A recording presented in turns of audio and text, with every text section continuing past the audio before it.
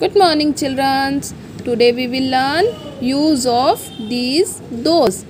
these का use हम कब करते हैं? जब कोई चीज़ हमारे पास होती है और वह एक से ज़्यादा होती है। और दोस का यूज़ हम कब करते हैं? जब कोई चीज़ हमसे दूर होती है और वो भी एक से ज़्यादा होती है। Okay like this one two this are two eggs these are eggs एक से ज़्यादा है ना, इसलिए हमने यहाँ पे एस लगाया है और हमने यहाँ पे किसका यूज़ किया है? दिस का।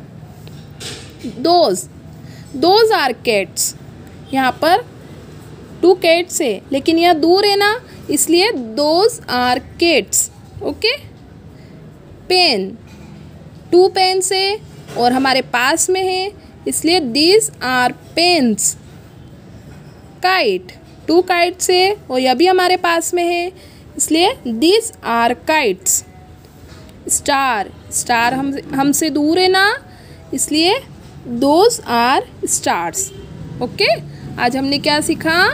दीज और दोज का यूज़ करना. You have to learn and write this work